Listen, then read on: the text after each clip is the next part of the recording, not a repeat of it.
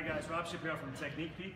Today we're going to do primals. Primals are a good exercise for core stability. I kind of used it before I used planks.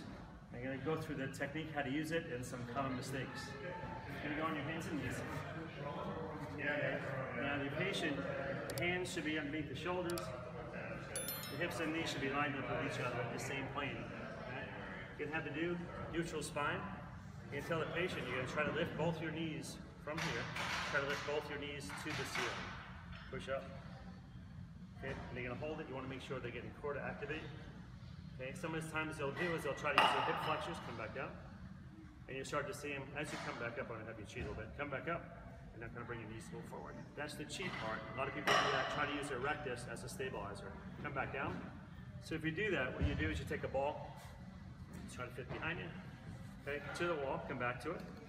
Now what happens, when you push back, you have to use your extensors, okay? You can't use your flexors and extensors at the same time for this exercise. So you have the patient gently push into the ball, activate the extensors, and then try to bring this part to the ceiling. Come up, good, hold, two, usually had 10 seconds, 10 times is my typical. Good, come back down. Then you can add other techniques. We'll see what you can do. So we're gonna go up again. Come up again. Good. Now try to take your left arm and put it on your right shoulder. It's tough. It's a tough one to do. So we have to kind of work up to it. See that a lot of shifting. There's going to be some weight shift, but you shouldn't see a rotation. Okay, come back in.